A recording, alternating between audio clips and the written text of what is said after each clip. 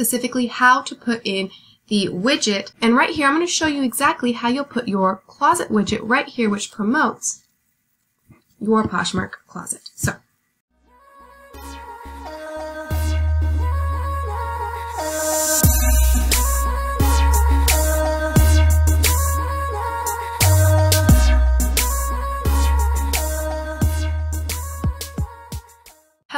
I am so excited that you are here today and welcome back to my channel where all we do is talk about Poshmark and thrifting, reselling.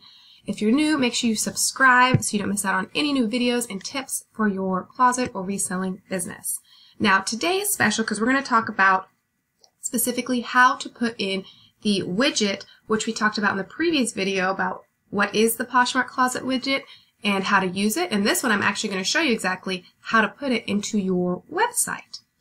Now, of course, if you don't have a website, you can always go down, I'll leave a link below, and you can create a free one for yourself and embed one, or you can look through the form, uh, through the packages I have, and I will create one for you. So there's a couple options for you, which are in the description below. So let's go over here, and right here I'm going to show you exactly how you'll put your closet widget right here, which promotes your Poshmark closet. So you'll go into your settings right here, up here, and then you'll want to go to your closet widget. Well, it wasn't your settings up here, your icon, and go to your closet widget down here. And once you go to your closet widget, you will have a couple options. You could make it uh, have you know only four show, six show, eight show. I chose eight you can also select favorite Poshers closets to promote. I actually opted out of this one currently. Um, maybe in the future I will if I'm collabing with someone else and uh, we do it for each other, stuff like that. Um, and then here you can pick the dimensions of your widget. I picked the 300 because that works best for my website when I do it. Now down here, what I like to use is WordPress. Blogger is great as well.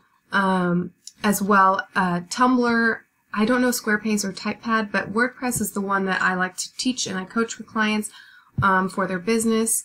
So what you do is once you'll hit the option for that, you'll hit get code. And basically, you'll just copy this code and come over to your website and you'll just hit the customize once it loads. And once you'll load any website, it'll look like this because you'll have your admin bar up top. If you have, if you're using a different platform, it will look different than this. Keep this in mind. Oh, refuse to connect to the internet. Let's give it a second to load. Um, let me pause it till, oh, there it goes. Okay, customize. There we go. What? All right, let me pause it and then relog in and see what's going on, and then I'll Perfect, so it should work now. So what I did is I just relogged into my WordPress account um, because it logged me out after a certain amount of time because I'd been sitting up. So I'll hit the customize, it'll come up here, and I'll go down to widgets because this is what it is, it's a closet widget. And I'll actually want it in my sidebar, I didn't want it in my footer. And what you'll do is you'll hit add widget, type in HTML, and then all you'll do is you'll hit copy and paste.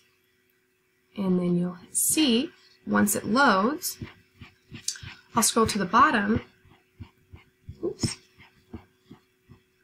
Right there you can see the closet widget appeared. So it's easy for you to plug into your website, not a problem, you can do this, and then you can easily rotate it and move it where you'd like. Now I'm going to delete it since I already have one. But now you know exactly how simple it is. You can do this for your business. So make sure you go over and create your widget for your Poshmark closet. And if you have not created a Poshmark account yet, make sure you create one and use my code, Christina Spohr, to get $10 when you sign up. And share this and like this, and I will see you in a future video. And make sure to click the link in the description to get your website going or have me set it up for you. All right, see you.